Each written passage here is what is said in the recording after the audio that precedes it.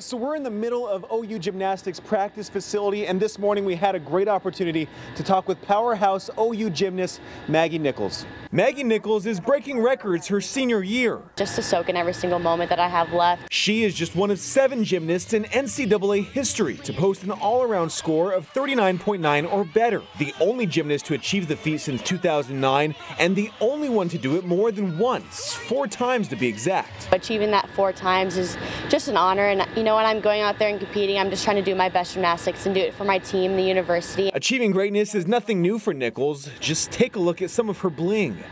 Those rings include team and individual national championships, Big 12 championships, and a Super 6 ring. I just think of all the hard work that me and my team put into the gym. We also talked about the tragic passing of Kobe Bryant over the weekend. She met Bryant during her 2016 Olympic bid and posted this picture on Twitter. I just remember him being such an inspiration to me and all the other athletes. He, I mean, he came up to all of us individually, which I mean, a lot of people do not do. So it really meant a lot. OU's next meet is Friday against Iowa State. Boomer Sooner. Reporting from OU, Zach Rael, KOCO 5 News.